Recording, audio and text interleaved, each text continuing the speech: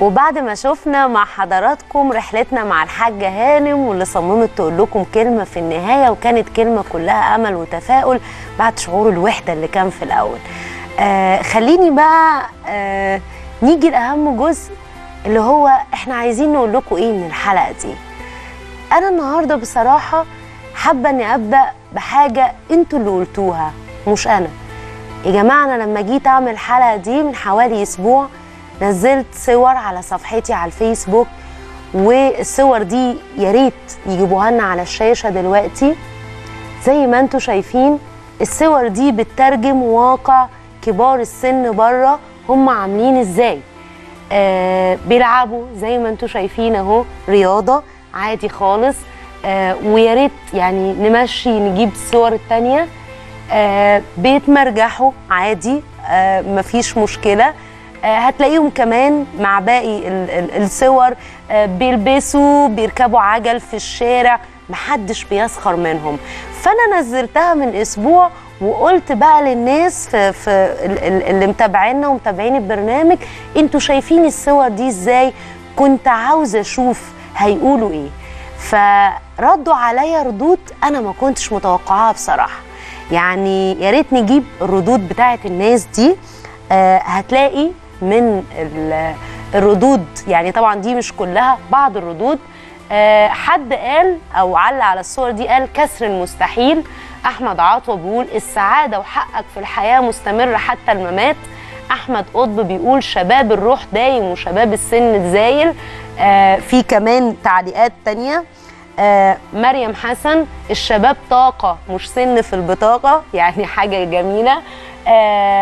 صباح بتقول هناك أناس لديهم طاقة داخلية مهما تقدم بهم العمر يستطيعون فعل أي شيء. ده كمان جميل جدا. آه في كمان تعليقات تانية آه يعني بتترجم الموضوع.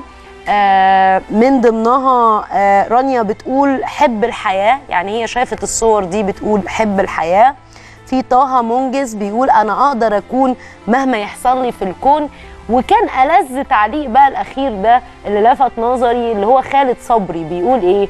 بيقول عمرها 90 سنة يعني الناس اللي كانوا في الصور عمرهم 90 سنة وبتلعب رياضة وجمباز وإحنا الواحد أول ما تطلع نتيجة تحاليل الحمل الواحدة يعني أول ما تطلع لها نتيجة تحاليل الحمل تبدأ تصلي من على الكرسي.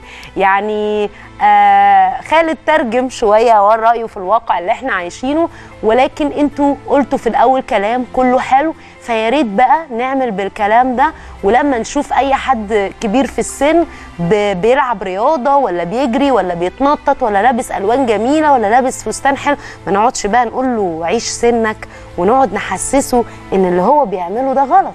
لأ لأن زي أنتوا نفسكم قلتوا معايا أنتوا بقيتوا خلاص يعني دكاترة نفسيين أهو قلتوا الشباب طاقة مش سن في البطاقة. فعلا. طيب خليني أقول لكم جزء مهم قوي يا جماعة أنا عايزه أقوله في الحلقة بتاعت النهارده اللي هو إيه؟ إزاي لما يبقى عندنا حد غالي عندنا كبير في السن بابانا مامتنا جدتنا جدنا عمنا أي حد وكبر في السن إزاي نعامله أو نتعامل معاه نفسيا صح علشان آه خلاص بقى ما يوصلش للمرحلة الصعبة اللي إحنا مش عاوزينها. أول حاجة عاوزه أقولها لكم إن الكبير في السن ده لازم يتواصل مع الناس ما ينفعش نسيبه فترة طويلة يقعد لوحده. وأقول لكم مثال على نفسي يعني أنا جدتي أول ما بدأت أحس إنها آه، هتبدأ تشتكي محدش بيكلمني محدش بيجيني رحت على طول جايبة لها موبايل. فأول ما بقى معاها موبايل بقت بتقدر تكلم ولادها وبتكلمنا إحنا ان إحنا احفادها في كل وقت ما لقيتش ده هتلاقي ده فبدأ يشغلها. هم الكبار في السن عاوزين يحكوا كتير مع الناس. وبقت دلوقتي تقريبا كل فلوسها مخلصاها على الرصيد ودي حاجة ما بتزعلناش نهائيا بالعكس حاجة بتفرحني لأن لازم يبقى ليها تواصل مع الناس. لو ما فيش تليفون بيت يبقى في موبايل حاجة تكون جنبها تكلموها عليها على طول وإيه وهي تقدر تكلمكم. طيب الكبير في السن كمان لازم تخليه يتحرك. ما ينفعش تقول آه يعني خلاص بقى مش مش همشيه فين يعني ده عايز اللي يسنده ولا مش هيرضى يطلع. حتى لو مرضيش يطلع معاك. شفتوا أنا عملت إيه مع الحاجة هانم؟ طبيعي إنه هيرفض في الأول. تيجي تقول لها مثلا يا تيتا تعالي أخرجك.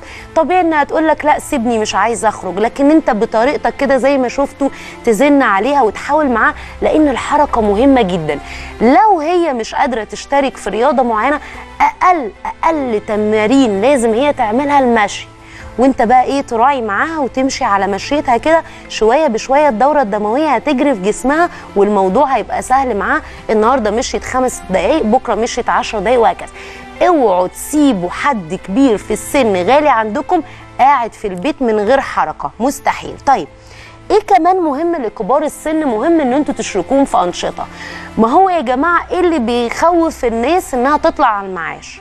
وليه بيقولوا عليه سن يأس مع إن مفيش حاجة اسمها سن يأس؟ لأن إحنا خلاص أول ما بنوصل لسن الستين بنقول له خلاص أنت طلعت على المعاش يعني أنت بقاش ليك لازمة. لا ده مش صح. بالعكس أنا أفضل أستفيد من خبرته. ودايما كده لو عندك باباك مثلا كان بيشتغل وليكن نقول صحفي وطلع على المعاش خلاص ما بقاش بيشتغل.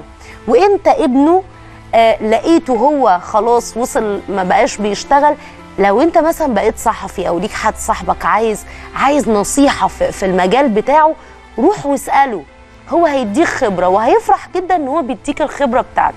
ما تسيبوش كبار السن كده قاعدين ما تاخدوش وتدوا معاهم لأ اسألوهم اتلككوا كده وروحوا اسألوهم أي سؤال. يعني لو جدتك مثلا الطبخ وانتي بتطبخي الأم مثلا أو الحفيدة أو كده اشركيها معاكي. خدي يعني مثلا قولي لنا نعمل أكلة دي إزاي يا تيتا. ساعدينا اعملي معانا كذا. لو الأب مثلا مثقف في حاجة معينة اسأله فيها. قول له أيام ما كنت في الجيش كنت بتعمل إيه؟ اديني خبرتك. هم يحبوا قوي إيه الحاجات دي. لأن أنت هنا هتشغل المخ عندهم وهياخدوا يدوا في الكلام فمخهم يشتغل فمش هتجيلهم بقى المشاكل اللي بتجيلهم في, في المخ. وتقول أصل الواحد لما بيكبر ذكاء وبيقلوا الحاجات دي وقلنا لكم كلها إيه؟ كلها تخاريف. إيه تاني حاجة مهمة قوي؟ مهم جدا إن الكبير في السن يكون عنده ونس. أكتر حاجة بتألم الناس المسنين لما هي مثلا الست جوزها بيموت أو الراجل مراته بتموت. ويبدأ انت إيه لما يجي هو مثلا في سن كبير يقول لك أنا عاوز أتجوز فأنتوا تبدأوا تتريقوا عليه. لا ده مش صح. انت الواحد لما مراته بتموت في السن الكبير بالتحديد كمان يمكن أكتر تأثير نفسي سلبي عليه من لو ماتت في سن صغير. لما مراته بتموت هنا تقريبا حياته بتقف. الونس اللي معاه بيروح. فمش عيب خالص إنه لو عاوز يتجوز وحد قريب من سنه يتجوزه. إيه المشكلة؟ لأن هو في السن ده بيدور على حاجات تانية مش زي اللي إحنا كنا بندور عليها وإحنا شباب. مش هيدور على الخلفة والولادة والحاجات دي لا هو هيدور على الونس على حد قريب من سنه ياخد ويدي معاه. دي مهمة جدا فما تتريقوش معاهم عليهم ابدا في النقطة دي. بالعكس شجعوهم عليها. اوعوا بقى تزعلوا الناس الكبار في السن. اوعوا تزعلوهم. آه لأن حتى ربنا قال ولا تقل لهما أف ولا تنهرهما. أنتوا عارفين هو ليه قال كده؟ لأنه عارف إنه لما يكبر في السن ما هيبقاش عنده آه زي ما بنقول إيه طولة بال عليك زي الأول. فشوف تخيل بيقول لك كده على أمك وأبوك اللي هم أكتر ناس بيحبوك. فيا بالك بقى وأنت ماشي في الشارع وتلاقي واحد كبير في السن يقول لك تعالى سندني ولا يتساهر معاك وياخد ويدي معاك في الكلام فتقول له يا عم فكك بقى. الكلام بقى اللي إحنا إيه اللي إحنا بنقوله ده ما ينفعش. ال ال الكبار في السن بالذات محتاجين إن أنت تصبر عليهم ما تزعلهمش ابدا ما تقولهمش أخبار وحشة وضروري تعيشهم في مكان ونس. يعني ما ينفعش تعيشهم في مكان هدوء زي ما شفتوا الحاجة هانم اللي كانت معايا قالت لك لما بزهق بحط الكرسي واقف في البلكونة واتفرج على اللي رايح واللي جاي. كون إن هي تتفرج على اللي رايح واللي جاي. حد بيتخانق حد بيزعق حد بيعمل أي حاجة ده في حد ذاته حلو ليها ونس ليها. فما تحرمهمش من الحاجة دي. والدليل على كده هتلاقي كل كبار السن مش عايزين يغيروا مكانهم. فأنت إيه يتهيألك إن أنت بتاخده تعيشه معاك في مكان هادي وكده أنت بتنفعهم لأ أنت بتضرهم. فنستفيد قوي في حلقة النهارده. أنا بقول لكم أهو كمرشد نفسي لما تيجوا تعيشوهم عيشوهم في مكان ونس. ما ينفعش بقى تنقلوهم تودوهم في, في, في الأماكن البعيدة اللي بعيدة عن الناس والشوارع. وحتى لو مهما كانت الأماكن دي غنية من وجهة نظركم وانتوا هتوفروا لهم فيهم آه، سرير ثمنه كذا أو مش عارفة البيت التحفة اللي فيه ثمنها كذا لأ هم مش بيدوروا على كده.